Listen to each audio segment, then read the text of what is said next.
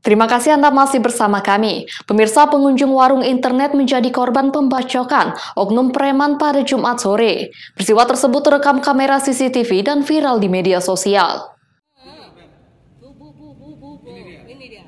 Tidak butuh waktu lama, petugas unit Reskrim Polsek Medan Timur akhirnya menangkap pelaku pembacokan inisial RLP di kediamannya di Pasar 15 Dusun 20 Desa Bandar Kecamatan Percut Setuan, Deli Serdang, Sumatera Utara.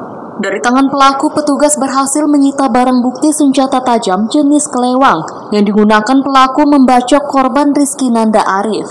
Peristiwa pembacokan tersebut terjadi pada Jumat sore di warung internet Jalan Rakyat, Kelurahan Tegal Rejo, Kecamatan Medan Perjuangan, Sumatera Utara.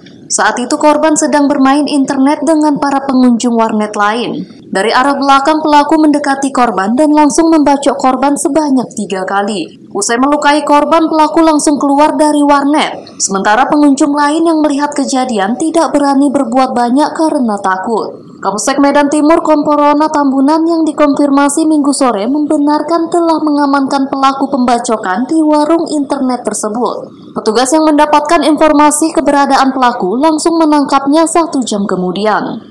Dari hasil pemeriksaan, tersangka mengaku dendam dan sakit hati kepada korban yang pernah mengancamnya. Untuk penyelidikan lebih lanjut, tersangka dan barang bukti masih diamankan di Mapolsek Medan Timur. Wahyu Pratama melaporkan dari Medan untuk Evarina TV.